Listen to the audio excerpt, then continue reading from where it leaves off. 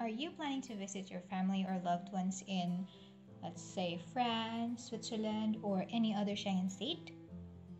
Are you also from a non EU country?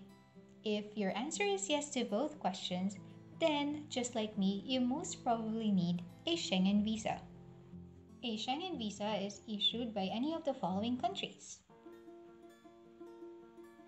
A multiple entry Schengen visa will also allow you entry into some other European nations. So, if you are visiting family or friends or your loved one in the Schengen zone, you most likely need to obtain an invitation letter from them. So, let's find out what is an invitation letter. So, what exactly is an invitation letter? According to SchengenVisaInfo.com, it is a letter from the person who is inviting you who lives in the Schengen state that you want to go to or that you want to visit. So, technically, the person who writes the invitation letter is the person who is in the Schengen zone, whether it be Switzerland, France, Italy, or Germany. However, you can help him or her write the invitation letter yourself.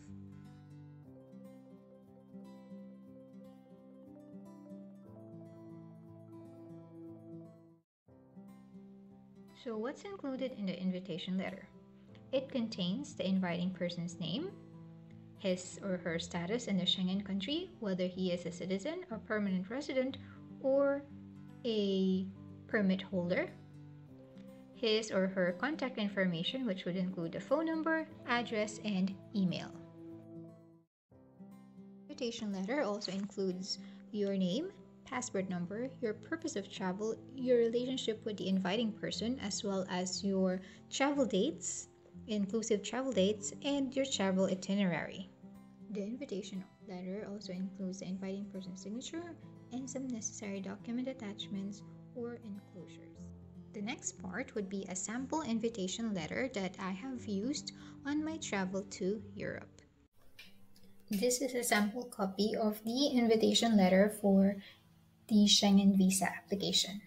So first, indicate the date, uh, salutations, and the address of the embassy wherever you're going to submit the application.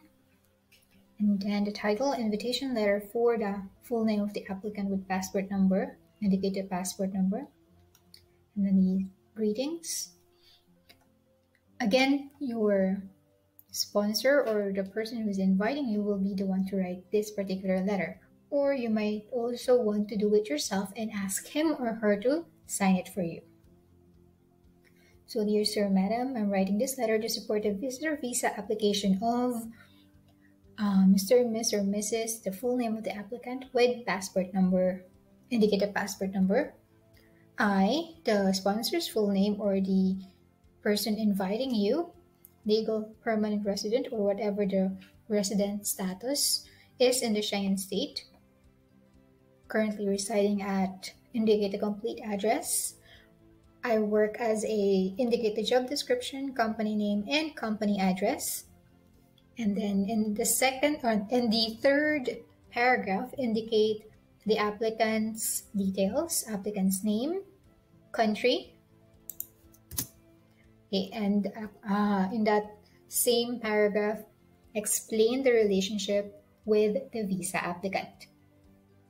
So indicate the complete address, phone number, and you can also add the email of the applicant as well. If you had previous visits uh, to a particular Schengen state, then indicate them as well. On the next paragraph, indicate the purpose of uh, the visit. Okay, so also include the entry date and the exit date specific dates.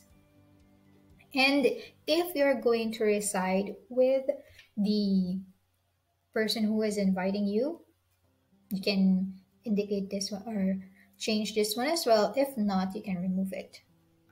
So for the second to the last paragraph, um, include what type of visa you are requesting and if the person who's inviting you will be assuming full financial responsibility, please include that as well.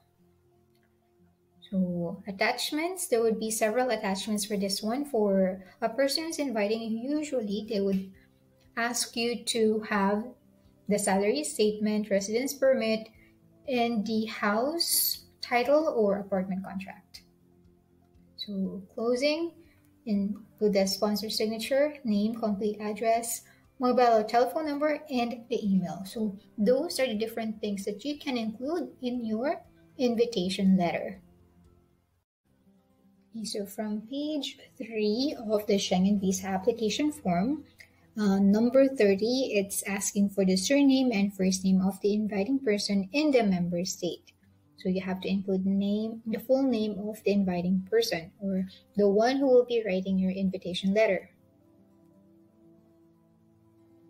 Um, also, you have to include the address and the email address of the inviting person. Or if you're going to stay with him or her, you have to include his or her address. If not, then include the address of your hotel as well as the telephone number Okay, so that's for number 30. Sometimes the, uh, the inviting person will also be sponsoring your trip. So the inviting person has to write a sponsorship letter as well. So we'll be discussing the sponsorship letter in my next videos. In conclusion, an invitation letter is a necessary part of your Schengen visa application. If the purpose would be to visit family, friends, or your loved one. Take note, there are instances wherein if you are supplied with an invitation letter, the embassy would also ask for a sponsorship letter. I hope you found this video quite resourceful in writing an invitation letter. If you still have any questions, please leave a comment down below or send a message on my IG. So let's connect. See you on the next videos. Bye!